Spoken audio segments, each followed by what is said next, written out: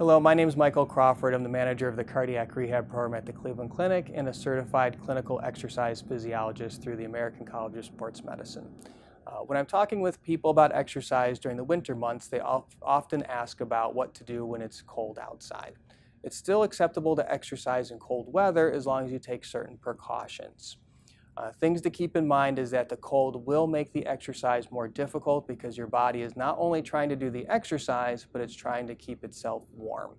Uh, some very simple things to do is to make sure you're wearing protective clothing. So cover all exposed areas, including gloves, hats, and clothing. Uh, dress in multiple layers to create warm air barriers and wear clothing that will help keep you dry. Uh, it should remove the moisture from your skin as well as an external layer that will prevent snow or uh, rain from saturating your clothing.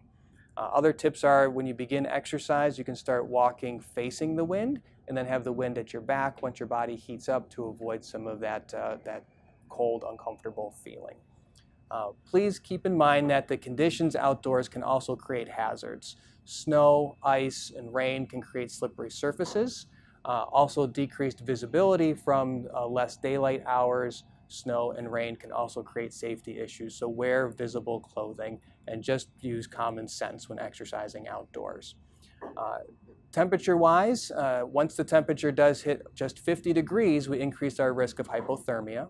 Once the temperature hits around 30 degrees, we start to increase the risk of frostbite and frost nip.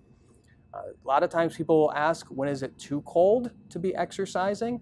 A good rule of thumb is once the air temperature hits 10 degrees, there is a significant increased risk of cold-related uh, disorders. So that might be your signal of avoiding outdoor activity at that time. But we do all have our own tolerance for what is too cold.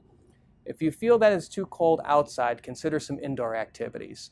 Uh, one simply would be is if you have a gym or recreation center, please use it. Your money will be well spent. Uh, if you have any exercise equipment at home, treadmill, indoor cycle, you could use those.